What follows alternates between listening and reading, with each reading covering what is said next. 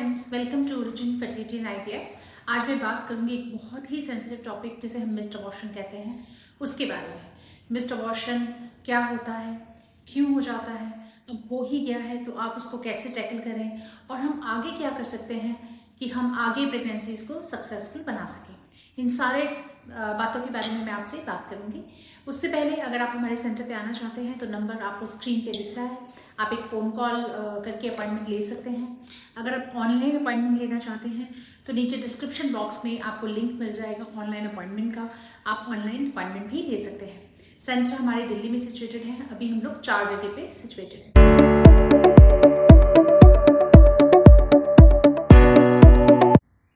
तो आते हैं वीडियो के टॉपिक पे। जो कि बहुत ही सेंसिटिव टॉपिक है, जिसे हम कहते हैं मिस्ड अबॉर्शन होता क्या है मिस्ड अबॉर्शन मिस्ड जैसे कि वर्ड से ही पता चल रहा है कि अंदर बच्चा बढ़ना बंद हो चुका है, बच्चे की हार्ट बीट बंद हो चुकी है, लेकिन पेशेंट को नहीं पता। प्रेगनेंसी अभी अंदर ही है प्रेगनेंसी बाहर नहीं निकाली है शरीर ने, पर वो प्रेगनेंसी डेड है। उसे कहते हैं मिस्ड अबॉर्शन एक बहुत बड़े शॉक की तरह आता है।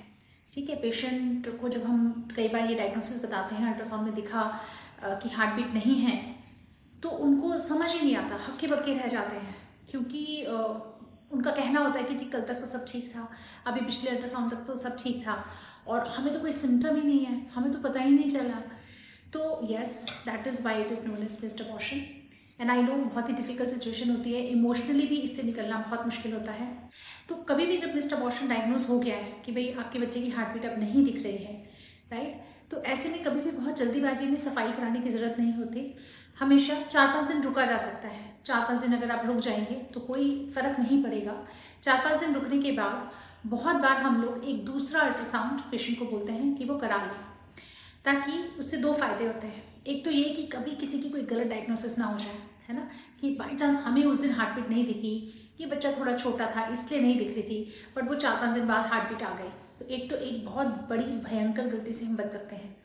एंड दूसरी बात, वो चार पाँच दिनों में पेशेंट को साइकोलॉजिकली स्टेबल होने का मौका मिल जाता है। थोड़ा सा you know to come to terms to this thing कि वो बच्चा अब नहीं है, इसका मौका मिल जाता है। तो पहली बात तो जब भी डायग्नोज हुआ है, जल्दीबाजी में टर्मिनेट करने की आवश्यकता नहीं है। चार पाँच दिन के बाद एक रिपीट अल्ट्रासाउंड करा के देखा जा सकता है। अब सवाल उठता है कि मान लिया ये कंफर्म ही हो गया कि यस बच्चे की हार्ट बीट तो नहीं है मिस्टर अबॉर्शन हो चुका है। तो आप अभी क्या करोगे? इस प्रेगनेंसी को कैसे हम हटाएँ? और हम आगे क्या करेंगे? आगे के फ्यूचर की प्रेगनेंसी में हम क्या कर सकते हैं ताकि हम इतनी बड़ी मिस हैपनिंग को होने से बचा सकें? तो पहले पार्ट पे आते हैं कि अभी आप क्या करें? कैसे बच्चेदानी को सेल्फ करें? राइट क्योंकि ये बच्चा तो निकालना पड़ेगा टर्मिनेट करना पड़ेगा। तो उसको करने के तीन तरीके हैं। पहला मैनेजमेंट कहलाता है एक्सपेक्टेंट मैनेजमेंट जिसमें कुछ भी नहीं करना, हम बॉडी को टाइम दे रहे हैं कि वो बॉडी अपने आप बच्चा निकाल दे। दूसरा होता है मेडिकल मैनेजमेंट जिसमें कुछ गोलियाँ दी जाती हैं और गोलियों के थ्रू हम कोशिश करते हैं कि यूट्रस पेन के साथ इसको थोड़ा सा निकाल दें। एंड तीसरा होता है सर्जिकल मैनेजमेंट जिसमें बच्चेदानी की सफ़ाई की जाती है, जिसे हम डीएनसी कहते हैं। हर इलाज के कुछ फ़ायदे, कुछ नुकसान हैं। जैसे सबसे पहले मैनेजमेंट पे आते हैं जिसे हम एक्सपेक्टेंट मैनेजमेंट कहते हैं तो बहुत सारे पेशेंट को आ, ऐसा लगता है कि हमें बॉडी के साथ कोई छेड़छाड़ नहीं करनी है हमें कोई दवाई नहीं लेनी है जितना नेचुरल तरीके से अबॉर्शन हो जाए उतना ठीक है। In a way they are okay that is right तो इसमें दो हफ़्ते तक वेट किया जा सकता है। दो हफ़्ते तक बॉडी को टाइम दिया जा सकता है कि बॉडी अपने आप ही इसको निकाल दे। एक तरह से डेड टिश्यू पड़ा हुआ है तो बॉडी निकाल भी देती है थोड़ा पेन थोड़ा ब्लीडिंग के साथ निकल जाता है। तो पहली बात तो इस एक्सपेक्टेड मैनेजमेंट कभी भी दो हफ़्ते से ज़्यादा का वेट मत कीजिएगा। क्योंकि उसके बाद ये स्टडीज़ हैं जो ये कहते हैं कि अगर बहुत लंबे समय तक, दो हफ़्ते से ज़्यादा, अगर एक तरह का डेड टिश्यू अंदर पड़ा हुआ है डेड चीज़ अंदर पड़ी हुई है तो बच्चेदानी में इन्फेक्शन हो सकते हैं। और दूसरा नुकसान एक्सपेक्टेड मैनेजमेंट का ये होता है कि आपको पता नहीं है कि कब ब्लीडिंग शुरू हो जाएगी, कब पेन शुरू हो जाएगा, और जब ब्लीड करोगे तो कितना हैवीली आप ब्लीड कर पाओगे। टाइम नहीं पता कि वो दो दिन में हो जाएगा या दो हफ़्ते में होगा। राइट तो थोड़ा सा अनप्रडिक्टेबल होता है। फिर भी अगर कोई पेशेंट हमें ये कहता है कि नहीं, अभी हम दवाई नहीं लेना चाहते, अभी हम थोड़ा वेट करना चाहते हैं, अभी हम हफ़्ता रुकना चाहते हैं तो उनको वो टाइम देने में बिल्कुल कोई बुराई नहीं है। दूसरा मैनेजमेंट होता है मेडिकल मैनेजमेंट मेडिकल मैनेजमेंट में कुछ गोलियाँ दी जाती हैं, जिसमें एक गोली होती है मिफीप्रिस्टोन मिफीप्रिस्टोन एक एंटी प्रोजेस्ट्रॉन ड्रग है, जो कि गोली खाने के लिए दी जाती है। प्रोजेस्ट्रॉन एक प्रेगनेंसी मेंटेनेंस हार्मोन है। तो हम जब एंटी प्रोजेस्ट्रॉन ड्रग दे रहे हैं तो एक तरह से हम उस प्रेगनेंसी की प्रेगनेंसी को हम कट ऑफ़ कर रहे हैं, है ना? उसका जो हार्मोनल सपोर्ट है, वो कट ऑफ़ कर रहे हैं। और इसके लगभग 48 घंटे के बाद दूसरी दवाई दी जाती है, जिसे हम कहते हैं मिजोप्रोस्टॉल मिजोप्रोस्टॉल दवाई है, जो एक तो बच्चेदानी के मुँह को थोड़ा सा सॉफ्ट करती है, इसके अलावा बच्चेदानी के अंदर कॉन्ट्रैक्शन लाती है, बच्चेदानी के अंदर पेन लाती है तो उसको एक्सपेल करने में हेल्प करती है। तो ये सीरियली दिए जाते हैं, पहले मिफिपिस्टॉल फॉलोड बाई मिजोप्रोस्टॉल ठीक है, फ़ायदा ये है टैबलेट्स का या मेडिकल मैनेजमेंट का कि एक तो आप अपना टाइम निर्धारित कर सकते हो। ऐसा नहीं है कि कभी भी ब्लीडिंग हो जाएगी राइट जब आप घर में हैं, जब आप आराम कर सकते हैं, तब आप ये गोलियाँ लेना प्रेफर कर सकते हैं। ठीक है, कोई इमरजेंसी सिचुएशन से आप बच सकते हैं। सेकेंड फ़ायदा यह है कि हमें सर्जिकली कुछ नहीं करना पड़ रहा, हमें बच्चेदानी को हाथ लगाने की ज़रूरत नहीं है। आप घर के कंफर्ट में ये दवाइयाँ ले सकते हैं। ठीक है, और मेडिकल मैनेजमेंट लगभग seventy to ninety percent successful होता है। तो लगभग चांसेस है सेवेंटी टू नाइन्टी परसेंट कि केवल दवाइयों से ही ये बच्चा निकल जाएगा। लेकिन लगभग ten to thirty percent cases में अंदर पीसेस बच सकते हैं। इसलिए ये ज़रूर कहा जाता है कि पिल्स लेने के बाद कम से कम 10-12 दिन बाद एक अल्ट्रासाउंड रिपीट करके देखना चाहिए कि अंदर कोई पीस तो नहीं पड़ा। अगर कोई पीस रह गया अंदर तो सफ़ाई ही करनी पड़ती है। दैट मीन सर्जिकल मैनेजमेंट ही करना पड़ता है। तो फ़ायदा मेडिकल मैनेजमेंट का ये है कि आप अपने आप ले सकते हो, सफ़ाई करने की ज़रूरत नहीं है ऑफकोर्स लेस एक्सपेंसिव भी है। अब हम आते हैं सर्जिकल मैनेजमेंट पे मतलब डीएनसी डायलिटेशन एंड क्यूरेटास जिसमें कि आपको बेहोश करके या कभी कभी बिना बेहोशी के भी सिर्फ़ नींद के इंजेक्शन में बच्चेदानी का मुँह को खोल के अंदर से सफ़ाई कर दी जाती है। फ़ायदा यह है कि बहुत क्विक है, एक ही दिन में हो जाता है, आपको बहुत लंबा वेट करने की ज़रूरत नहीं है, हफ़्ता दस दिन रुकने की ज़रूरत नहीं है। Right almost hundred percent successful है। नुकसान ये है कि हम बच्चेदानी को हज़ारों से सर्व कर रहे हैं। और इसलिए सफ़ाई किसी बहुत अच्छी जगह पे, किसी बहुत अच्छे डॉक्टर से करानी चाहिए। बहुत ओवर जिलस यानी कि बहुत ओवर क्यूरेटास कोई ना कर दे। कभी कभी बहुत डीएनसी से भी कभी कभी बच्चेदानी डैमेज हो सकती है। तो हमारी पहली प्रेफरेंस पेशेंट को जब हम बताते हैं तो हमेशा मेडिकल मैनेजमेंट की रहती है। हम कोशिश करते हैं कि हमें सफ़ाई ना करनी पड़े और हम गोलियाँ देते हैं। और गोलियों से अगर नहीं होता तो हम लोग यूजली सफ़ाई एडवाइस करते हैं। ऑफकोर्स बहुत से केसेस होंगे जहाँ सफ़ाई करना या सर्जिकल मैनेजमेंट करना पहला ऑप्शन होगा।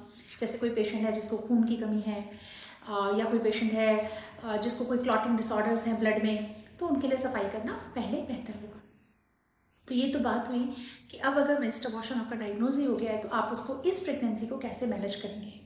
इसमें एक बहुत इंपॉर्टेंट बात है ध्यान रखने की, वो है ब्लड ग्रुप आपको पता होना चाहिए कि आपका ब्लड ग्रुप क्या है। आपका ब्लड ग्रुप कहीं नेगेटिव तो नहीं है? A negative B negative O negative A B O कुछ भी हो बट नेगेटिव तो नहीं है। अगर आप नेगेटिव हैं और आपके हस्बैंड पॉजिटिव हैं तो एक बहुत इंपॉर्टेंट एनटीडी का इंजेक्शन है। जो अबॉर्शन होने के within three three days लगना बहुत ज़रूरी होता है, वरना आगे के बच्चों में प्रॉब्लम आ सकती है। तो अगर आप ब्लड ग्रुप नेगेटिव हैं, अपने डॉक्टर को ज़रूर बताइए और इस बारे में ज़रूर डिस्कस कीजिए। अब आते हैं कि ठीक है, ये प्रेगनेंसी तो अब किसी तरीके से टैकल हो गई, पर क्या कारण है? क्यों हो गया मिस्टर अबॉर्शन ये क्वेश्चन मार्क बहुत बड़ा पेशेंट्स के मन में रहता है। और इसमें मैं ये कहना चाहूँगी कि पहली बात, इसमें आपको, अपने आप को ब्लेम करने की कोई आवश्यकता नहीं है। बहुत ज़्यादा लोग रिग्रेट करते हैं। उनको लगता है कि उन्होंने भारी वज़न उठा लिया था, उन्होंने कोई बहुत भारी काम कर लिया था, या वो कहीं यात्रा पे निकल गए थे ट्रैवल पे निकल गए थे, या उन्होंने कोई दवाई नहीं खाई, या कुछ खाने से अबॉर्शन हो गया। तो आई वुड से बिल्कुल भी नहीं। स्टॉप ब्लेमिंग योर सेल्फ ये आपकी किसी भी चीज़ से ये अबॉर्शन नहीं हुआ है। सो मोस्ट कॉमन कारण जो मिस्ड अबॉर्शन का होता है वो होता है बच्चे का एबनॉर्मल बन जाना।